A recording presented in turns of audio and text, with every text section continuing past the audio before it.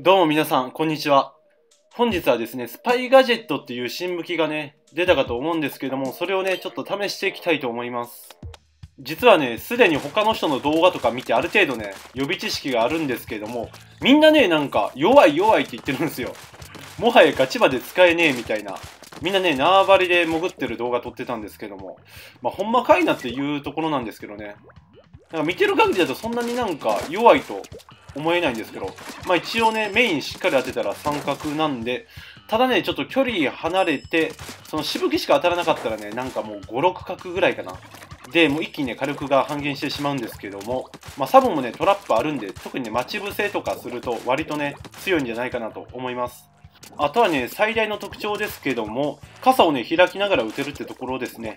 まあそこがね、今、現時点であるパラシェルターとのね、大きな差なんで、まあ、それをね、ちょっとうまいこと使いながら、今日はね、やっていきたいと思います。さあ、やっていきたいところですけども、なんか、うちのリスボン地点3人しかいないんですけど、気のせいですかね。まあ、気のせい、まあ、気のせいやな。気のせいですね。はい、気のせいです。じゃあね、そんな感じでやっていきたいと思います。まあ、自分が2人分の働きをしたらどうにか勝てると思うんで、多分大丈夫でしょう。まあ、普通にさ、この武器強いと思うんで、そのね、強いところを見せていきたいと思います。OK。トラップが効いていくといったところで、ちなみにね、今、ジャイロ3.5に合わせてます。普段はね、5でやってるんですけど、この武器ね、エイム難しいんで、もうね、多分3とか3.5とかの方がいいと思います。その理由としてはね、少しでもね、エイムがずれてしまうと、もう確定がね、4とか5とか、ないしはね、6とかになっちゃうんですよ。この武器おお後ろにおるやん待って、マジかよ。そう、気づかへんかったわ。今の、ちょっとでも早く気づいてたらいけましたね。てなわけで、ちょっと人数不利なんで、かなりね、厳しいところなんですけど、どうにかね、やっていきたいと思います。ちょっと人数不利なんで、ここら辺とかもしっかり塗っていきましょう。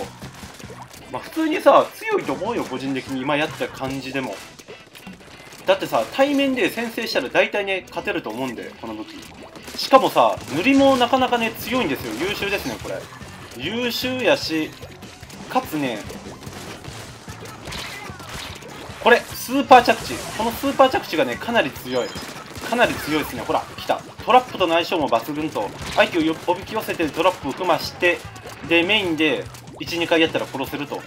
ほんとね、それが強い。で、もう接近されてもスーパー着地あるからそれでね、枯れるので、割とね、ガチエリアとかでね、無双できるんじゃないかなと思いますよ、これ。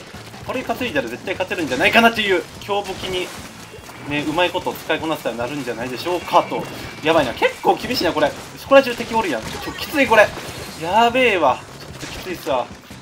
ただね、今やってる感じだと初見プレイですけども、そんなにね、弱さは感じないですよ、やっぱり。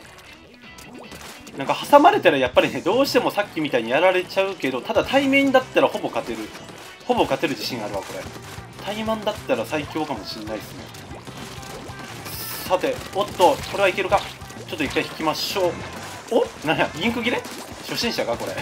なんかよくわからん動きしとったけど、今踊ってましたね。クソ可愛いんだけど。てなわけで、こいつがマジ邪魔、もうさっきから。こいつがね、本当にちゃちゃ入れてくるんで、本当邪魔でした、さっきから。よし。ラスト30秒で倒していくと。これはね、でかいんじゃないでしょうか。さて、やっていきましょう。なんだかんだで開幕で3枚落としたので、割とね、キルは取れてるんじゃないかな。もうなんだかんだで2桁ぐらい取れてるか。特にね、このトラップがクソ強いんだよな、これ。待ち伏せの時に。トラップが効いていく。クソ強いよな、これ。さ、やっていくと。みんなさ、トラップ弱いって言ってるけど、普通に強いよ。うまいこと使ったら。まあ、待ち伏せ用だからさ、これ。待ち伏せしてキル取るみたいな。カーボンとかだと絶対に相性いいと思います。てなわけで、終わりましたね。はい。つい数時間前に出た新武器、終わりたいと思います。はい、普通に勝ちましたね。では、お疲れ様でした。